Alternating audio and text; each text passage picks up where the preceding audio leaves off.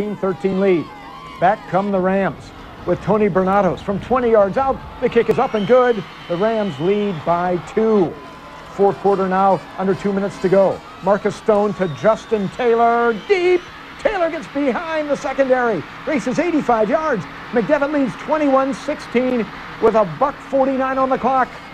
We go to fourth down now. The Rams fourth and goal. Mike Probst to Scott Moore with seconds to go, and that's the game winner. 23-21. Central Dauphin holds off Bishop McDevitt in an absolute thriller. Wow, that is a tough game to top. And to see if he can top it, let's check in with Jeff Sharilla and his friends in York County.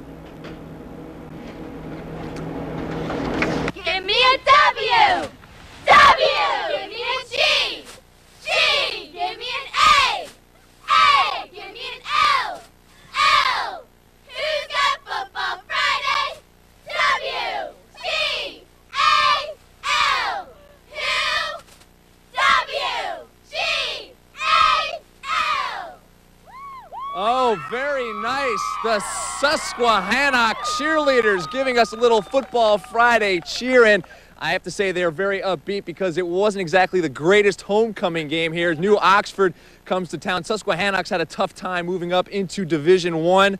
They come in with only one win on the year. A surprise, New Oxford all alone in first place at 2 0. But could they stay perfect? Let's go to the highlights. Oh, appreciate the Susquehannock fans making those signs. That these highlights, though, are all New Oxford with the pick. Mario Ioko with the INT. That sets up this on play action. Ryan Anderson to Larry Baumgardner. Heck of a night. Four touchdowns, one running, one throwing, a punt return, and an interception return. This catch helped set up Anderson on the keeper. And I'll tell you what, uh, those Colonials look an awful lot like the Patriots, but here they go. The Colonials with the touchdown run. Anderson makes it 42 0. Lone Susquehannock highlight comes just before the end of the third quarter. Brandon Davis hits Jacob Wolf 72 yards on the score, not nearly enough as New Oxford wins it 42 to 14. The Colonials now 3 and 0 on the year. They are certainly the surprise of Division 1. They stay perfect. Tough loss for Susquehannock. We've got the cheerleaders, the band, and I tell you what, we are going to have a little bit of a contest. We're going to test this band to see if they can come through with the WGAL challenge. That's it for now in York County. We'll have much more highlights coming up later on in the show, but for now, let's send it to Pat Principe, who has more Football Friday highlights. Pat? Hossie here at McCaskey Stadium, the Red Tornado tonight, trying to rebound from that.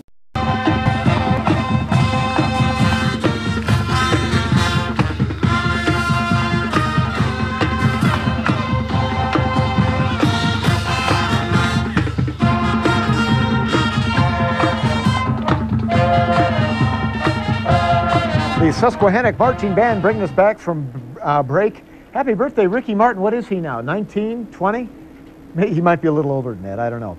Time now, as you can tell by uh, my uh, choice of furniture here, and it is time for the Wolf Furniture Armchair Quarterback matchup of the night.